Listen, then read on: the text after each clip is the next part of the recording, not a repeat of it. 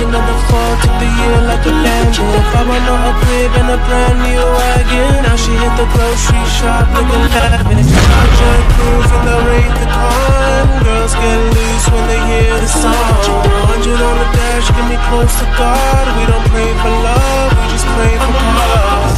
सन ग्यारह में सुल्तान मोहम्मद घोरी ने अजमेर के शासक पृथ्वीराज चौहान को हराकर दिल्ली पर कब्जा किया और दिल्ली सल्तनत का स्थापना हुआ। धीरे धीरे दिल्ली की सुल्तानी सेना ने पूर्व के तरफ़ बढ़ने लगे और गढ़वाल राजा जयचंद्र को पराजित कर कन्नौज पर कब्जा कर लिया। 1201 में दिल्ली सल्तनत के सिपाह सलार इख्तियारुद्दीन मोहम्मद बिन बख्तियार खिलजी ने मगध पर आक्रमण किया और व्यापक लूटपाट कर समग्र नगर को क्षतिग्रस्त किया।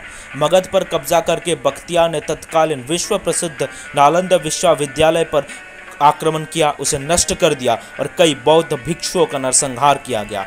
लाहौर से बिहार तक उत्तरी भारत के एक विस्तृत क्षेत्र पर दिल्ली सल्तनत के शासन स्थापना के परिणाम स्वरूप पूरे आर्यावर्त में केवल बंगाल ही एक स्वतंत्र हिंदू साम्राज्य के रूप में सनातन धर्म का विजय ध्वज को लहराए रख रहा था। उस समय बंगाल पर शासन कर रहे थे परम प्रतापी सेन वंशीय शासक हिंदू कुल सूर्य परम नरसिंह गौड़ेश्वर लक्ष्मण सेन। महाराजा लक्ष्मण सेन, भगवान श्री विष्णु के चतुर्थ अवतार उग्रमाधव नरसिंह देव के परम वैष्णव उपासक थे।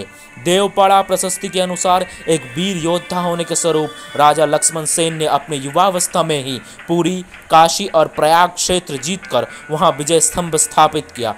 पूर्वी भारत में एक स्वतंत्र हिंदू राज्य के रूप में गौड़ बंगाल ने दिल्ली सल्तनत के लिए एक चुनौती बनकर खड़ा था।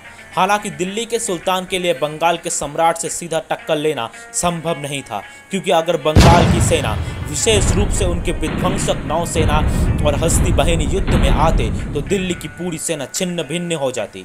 ऐसी स्थिति में 1203 ईस्वी में दिल्ली के सिपाह सलार बख्तियार खिलजी ने राजमहल के पहाड़ी जंगली क्षेत्र से होते हुए लगभग अट्ठारह हज़ार तुर्की सैनिकों के साथ वैष्णव तीर्थस्थल नवद्वीप पर धोखे से घोड़ा व्यापारी के भेष में आक्रमण किया। महाराजा लक्ष्मण सेन के सबसे ज्येष्ठ पुत्र और बंगाल के युवराज हेमचंद्र माधव सेन ने खिलजी आक्रमण का प्रतिरोध कर उन्हें आगे बढ़ने में असफल कर दिया। नवद्वीप सिर्फ़ एक तीर्थ स्थल होने के कारण वहाँ अधिक सेना नहीं थी।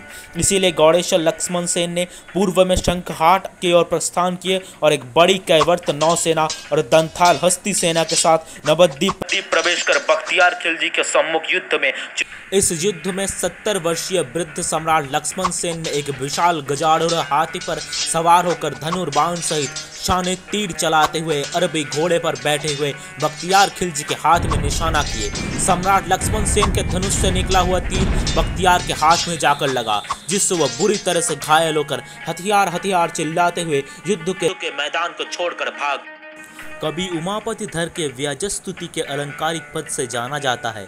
साधु म्लेच्छ नरेंद्र साधु भवतो मातेब बिरप्पसूर, नीचे नापि भवद्धिधान वसुधा, सुखत्रिय वर्तते, देवी कुट्यातिबस् बैरी परि मारांक मल्लेपुर शस्त्र शस्त्र मीति स्फूरति रशनापत्र अंतर आरोग्य दरअसल इस लड़ाई को हारने के बाद बख्तियार बिहार भाग गया। इस समय लक्ष्मण सेन के तीन पुत्रों ने बंगाल के तीन क्षेत्र पर शासन स्थापित किया। बरेंद्र भूम क्षेत्र से परम सौर सम्राट माधव सेन, राजधानी गौरनगर। राढ़ भूम क्षेत्र से परम सौर सम्राट केशव सेन, राजधानी राजनगर। बंगभूम क्षेत्र से परम सौर सम्राट विश्वरूप सेन, राजधानी विक्रमपुर। सेन राजवंश और उसके बाद देव राजवंश ने 300 वर्षों तक बंगाल में हिंदू स्वतंत्रता बनाए रखी और उनके युद्ध में दिल्ली सल्तनत को पराजित कर आर्यवर्त में सनातन संस्कृति को बार बार पुनरुज्जीवित किया। सम्राट लक्ष्मण सेन के कनिष्ठ पुत्र गौड़ेश्वर विश्वरूप सेन ने 1212 ईस्वी में दिल्ली के सुल्तान इल्तुतमिश को हराकर वाराणसी पर विजय प्राप्त किया। काशी शिव मंदिर को जीर्णोद्धार किया। हिंदू विजय के चिन्ह गौड़ीय विजय स्तूप का निर्माण किया और इसे भगवान विश्वेश्वर शिव का सेन वंशीय शासक, बंगाल नरेश परम सौगत मधुसेन ने 1278 में अवध के नवाब शेर खान को पराजित कर मगध का पुनरुद्धार किया और बख्तियार का नष्ट किया हुआ नालंदा विश्वविद्यालय और बुद्ध गया का पुनर्निर्माण करके पुनः धर्म संस्थापन किया।